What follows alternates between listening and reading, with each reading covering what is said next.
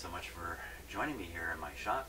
I'm uh, going to be putting this record player back together and getting it ready to be shipped out. So in order to do that, I've had to undo a few of the temporary things that I uh, had to do during the testing phase.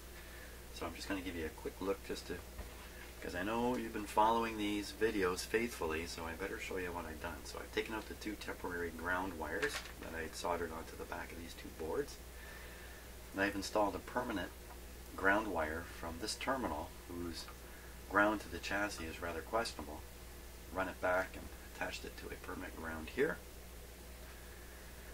And I've also installed permanent fixed resistors here. I've taken out the uh, far too large and unnecessary 5 water I had in here just temporarily. And these resistors, of course, are replacing the wire wound resistor, which this was really the cause of all the problems in this unit. It would appear, after doing everything, that other than this, nothing was wrong with this uh, player.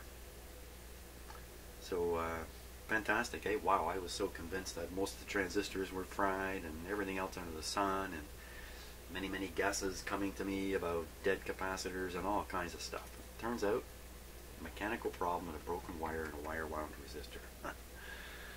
so, next stage is to put all this back up into the player here.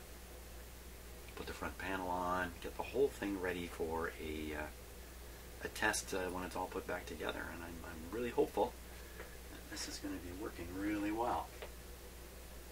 I'll get on with that.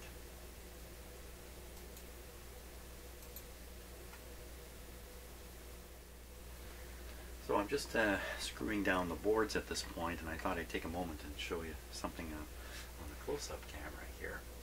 And uh, if I didn't admit to my error on video uh, clearly, let me admit to it now.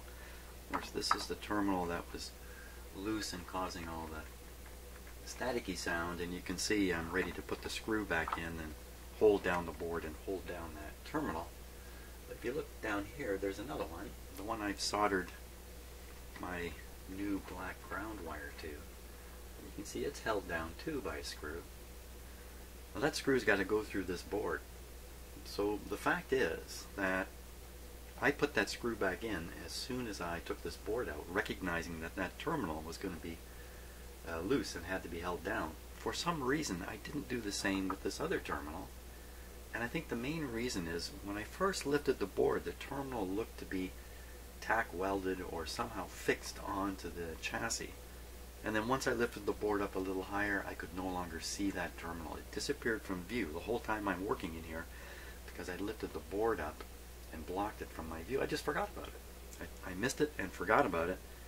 But apparently I took care of this one over here, which I now have to actually remove and uh, reinstall properly. So through the board. Well, anyway, that's just in case I really didn't make it clear in the earlier videos that I'm the guy who, who you know, I was uh, pontificating about uh, manufacturing mistakes and stuff like that. No, it was me. Of course it was me. Okay, so I'll just carry on here. Working away, putting this back together. Okay, it's kind of par for the course, but I got these pretty much screwed down and all set and then realized I left out the little insulating plastic that's supposed to be underneath these boards. So, okay, let's do it again. Okay, so while I was putting in the plastic here, I noticed, let's show it here. There we go. You see one corner has been cut off. That's the corner that has the ground lug, and when we look back at the uh, at the way this is arranged, it should have been pretty easy for me to spot that each board has a ground lug in the corner. One up here, this is the one I left loose that caused all those problems. And the other one's down here, of course, the boards are reversed in their orientation, so whatever is happening in this corner should be happening in this corner. And sure enough, there he is, the ground lug. So I, I basically I'm just kicking myself in the rear here, explaining to myself how it is I should have spotted these things and not and not left this loose for so long, causing endless trouble. You know, it's almost surprising I was able to find a real problem in this thing with the uh, with the fake problem I introduced. But uh, anyway, all these interesting little indications I missed as I took it apart. Okay, so there we are. The amplifier board all put back together. Grounds are in place. Screws are all in. Insulator pieces underneath the board. The black uh, extra ground wire, if you want to call it that, from here is installed. Everything's tight. Looks like it's time to install it. Now, let's see. How did I ever get this in and out here? I, don't, I don't really remember how I did it. How did I do it? Oh, I think this drops in from above. I think that's the secret here.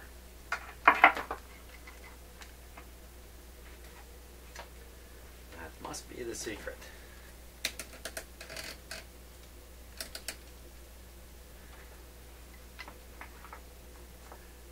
I think that's going to sit like this.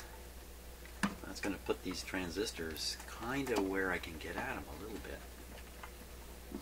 Yeah, so I can do a test once I get this all together.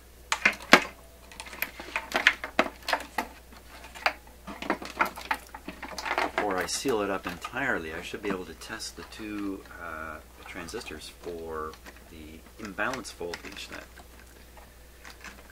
There we go. That's not so tough. One, two, three, four, five screws. What I did with my bag of parts here is I've kind of laid it out on my bench as you can see. And I try to put together, you know, like screws and that so I can see quickly rather than reaching in a bag full of parts. I can kind of lay them out and figure out what's going to go where. So I got five screws here. I've got five screws here.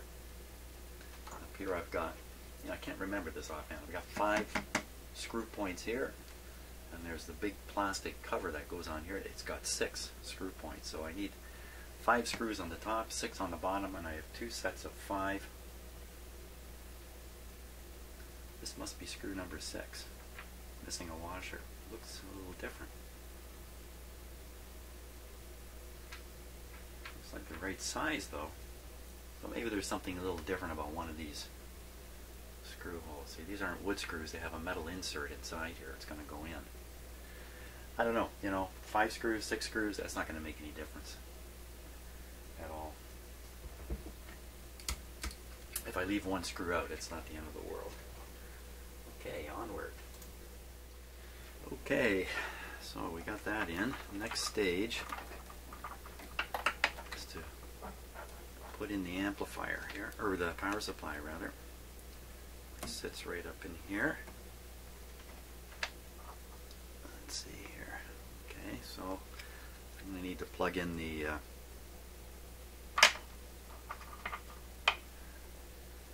well, it might be a little easier if I just plug these in now because I got lots of room for my hand to go in here. But once I put the power supply in, it's going to get a little more awkward.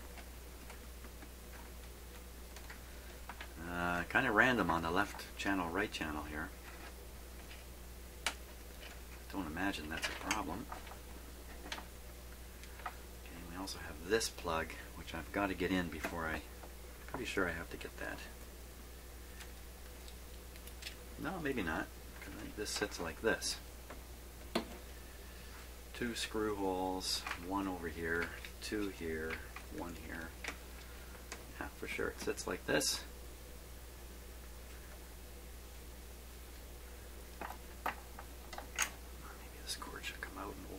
that.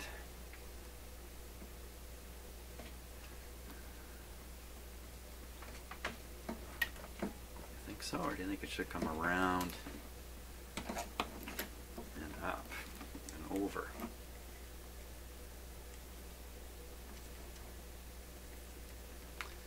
Plus there's a screw down on this. Ooh. A screw down clip. Where is that supposed to go? I remember taking it off.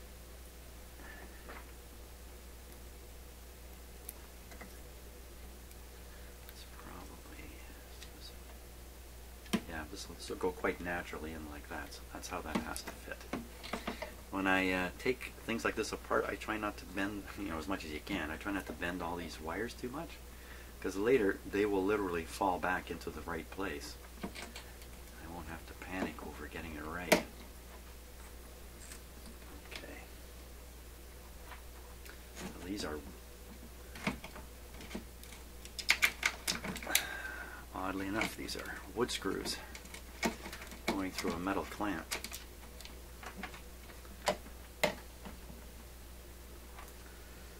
By wood screws, I just mean they have a point on them and a, quite a uh, coarse thread, like typical wood screws. Or I guess metal screws, sheet metal type screws.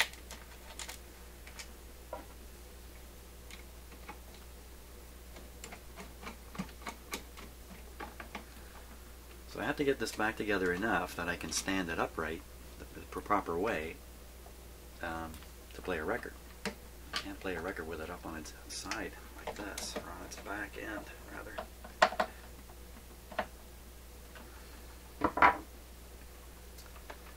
There's one clip there for the power cord. This one here, I'm not sure yet where it goes.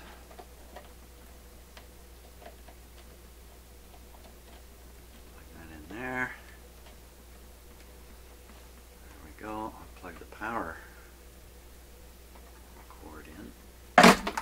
Jeepers. Scare that bejesus out of me.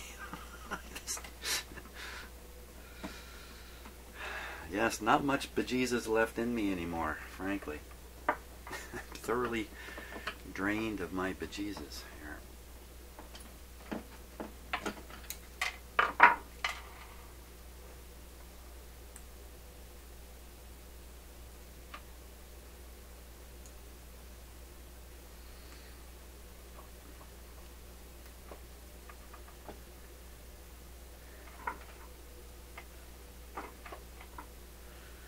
Putting this in now because I'm fairly confident that everything's going to work. So this is this relief is very important because people can tug on the power cord and you don't want the tugging to pass up into the electronics itself. So it'll just be tugged to here. Okay, now I have to put the uh, piece here. I should just put it on temporarily.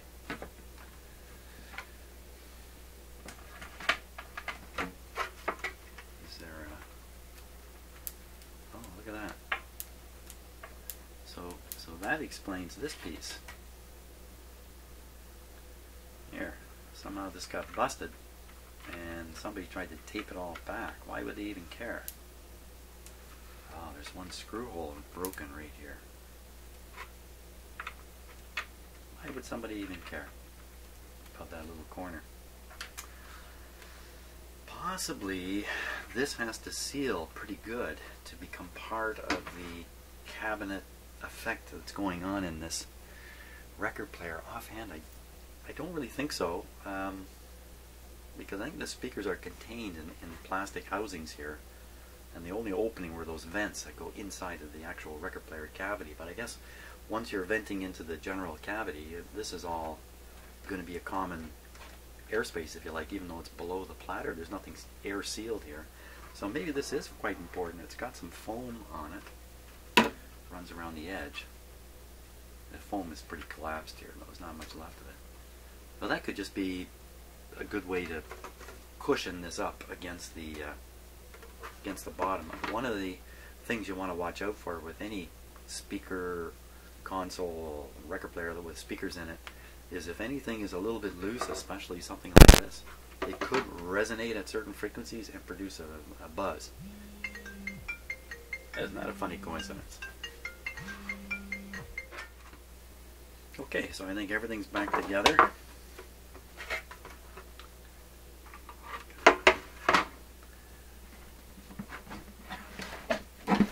Oh, son of a gun. That's why I turn the video on when I'm doing these things, by the way. so you can see all the things you shouldn't do.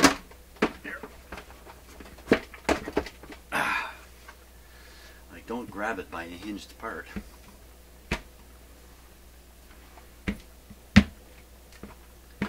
Okay. There's a bit of a bump test there, too.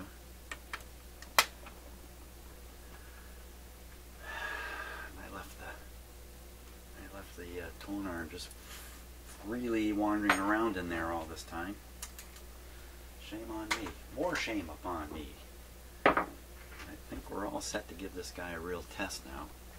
Let's see. And I'm going to find another record since the, the record I was using, the Atomic Rooster record, uh, is going to lead to a copyright hit. So let me see if I can find something a little more obscure.